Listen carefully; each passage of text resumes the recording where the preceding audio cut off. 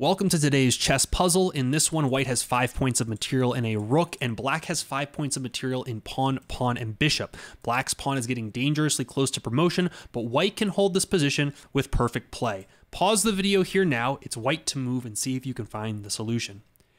If you saw only move rook to h3 check, you would be correct, and the king has no better option but to march down the board in order to avoid perpetually getting checked back and forth. Once the king makes it to the sixth rank, we go back rook to d3, and black's best move here is to play bishop out, checking the king, otherwise white would simply take the pawn after king to a7, not taking with the rook, we allow black to queen on d1.